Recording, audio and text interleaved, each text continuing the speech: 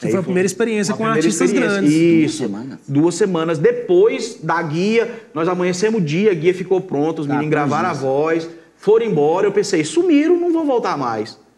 E quando foi com 14 dias, eles voltaram. Vamos gravar o DVD. Isso. O nosso primeiro DVD grande que a gente ia fazer, porque o Kleber tinha Cauã, experiência nenhuma, a gente cara. não. Eu tinha feito um single pra ele só. Certo. E assim, o projeto. Ele não tinha ainda projeto de gravar DVD, porque não tava no meio da pandemia. E, e já é dessa localiza, né? Isso, da, localiza. música já. isso. E aí eu, eu fiz os arranjos e a gente foi pra Palmas gravar o DVD lá. Com a participação do Henrique. Do Henrique Juliano. E pra, e pra tipo assim, pra, pra, pra deixar a história melhor ainda, a gente tava no ensaio e eu de short, de chinelo, tava tudo de boa aí.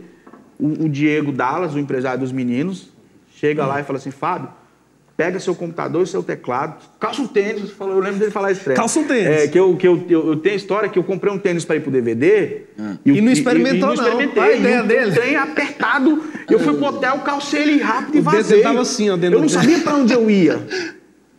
E aí os meninos entram num- na rodovia, chovendo demais aquele de Palmos, É. e entram numa estrada de terra, e entra e sobe. Aí de repente eles sobem numa- num, num- num- numa- num morro. Aí eu vi um avião lá, um helicóptero aqui. Falei, velho, vocês estão me levando para fora do país, nós vamos fugir aqui. Que que... O que que eu vou fazer? Aí eles falaram assim, nós estamos na casa dos homens. Henrique Juliano. Não, aí você falou, não, Falei, agora fodeu. Eu caguei na roupa. Falei, velho, não é possível, velho. Não é possível, cara. Eu falei, Agora não, velho, vocês é doido, velho. Como é que vocês fazem um trem desse? E aí eu, eu lembro que eu cheguei e eu vi o. Eu tava na casa do Juliano. Aham. Eu vi o Henrique lá de longe, tremi todinho. Falei, bicho, como é que- eu tô aqui na casa do cara, não é possível um não é trem desse. possível, Não é possível. Eu, né? Em tão pouco tempo assim de, de, de mercado. E foi uma experiência muito boa. Que, lá, Demais. que lá eu sentei com também, eles, né? a gente né, comeu churrasco, eu contei a minha história pra eles. tudo entendeu? isso aqui pra eles. Isso, contei, é, aham. E só que aí o. Ah, então você deu uma entrevista pra ele. Não, deu entrevista primeiro. Ah, E meu sócio, o Diego falou assim: eu, eu queria levar o Diego. Ele falou, não é só você. E E eu também tava cuidando dos meninos, Isso, da é, banda. da banda. E eu doido pra falar pro Diego onde eu tava e meu celular tinha eu descarregado a preocupado com o bateria. Fábio. Falei, cara, cadê o é Fábio, Cadê o cara, e eu velho? pensei, velho, eu tô aqui com os caras, velho. E não podia falar porque não tinha. O meu celular tinha, tinha descarregado a bateria. E eu com tênis, me apertando. Falei, velho, no- tipo assim, no meu maior encontro aqui com, com, com os ídolos, com os caras que eu amo, eu tô com tênis assim que ele tava me arrebentando, cara. Aquilo me incomodava, sabe? Tirou qualquer trem fora? Eu falei pra ele, tinha que ter falado, galera, eu tô tímido, num muito- momento surreal, mas É. vocês deixam eu tirar o tênis. E aí, e aí, é- Só tampa o nariz, tá Juliano, bom. me dá uma chinela aí.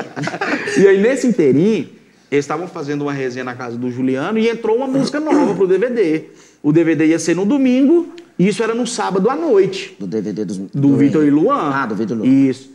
E aí eu fui com essa missão de produzir essa música lá, pra no outro dia a gente gravar o DVD. E aí eles me apresentaram a música, até o Christian Ribeiro, que é um dos compositores dela.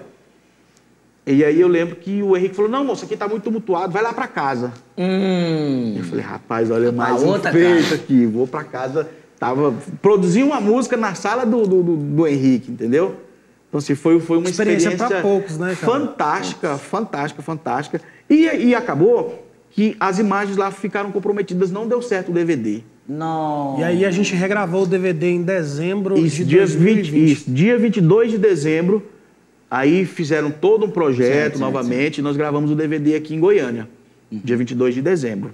Com a participação do Henrique Com a- Juliano. Que ele, inclusive, ia participar em uma. Eles têm duas participações. Tem a música Eu e Eu, que estão segurando ela para trabalhar futuramente. É, porque tá a certo. localiza aí deu tão certo. Explodiu. Isso, então vamos, Explodiu, vamos, vamos continuar. Toca né? até hoje, tá- É, é sim, tocadas até Exatamente. Não, é. mais de oito meses ela não sai do top 50 do Spotify, É, assim. tá, é, é, absurdo. E, e foi assim, e foi uma, um- algo que mudou as nossas vidas. De lá pra cá, Lógico, lógico. eles assim, a gente conversava com a Valéria Leão ontem, que ela é, é compositora, e falou, cara, é- é, veio assim, veio- é, foi um nicho novo pra gente da composição. Foi. Porque todo mundo quer, ou eu quero uma localiza e bebê, eu quero, uma- faz uma localiza e bebê pra mim. E o Quando- povo metendo aqueles, aquele arranjinho do Fábio. Pam, Tá, pam, tá, um trompete- é. trompetinho. Você é que fez aquele arranjo? Foi, aham. Meu, olha que coisa. Foi, é assim, é, é- é muito louco. Eu, eu falo que, que a experiência da, da produção é só viver, porque assim, tem, tem gente que fala assim, o que, que você está pensando para essa música? O que, que você quer? Qual... Eu falei, velho, não sei.